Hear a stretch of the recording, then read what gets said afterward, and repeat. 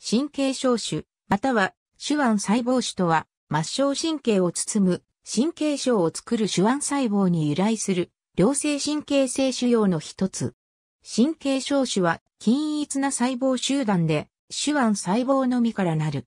腫瘍細胞は常に神経細胞の外部にあるが、腫瘍は骨構造の側面及び、または上部から神経を圧迫するため、障害を生ずる。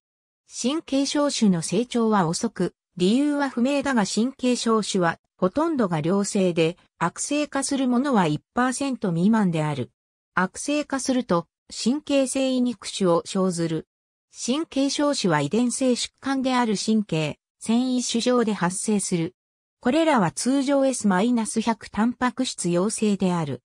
神経鞘腫は手術で切除可能であり、再発は稀である。組織学的には、ベロケイ小体が見られる。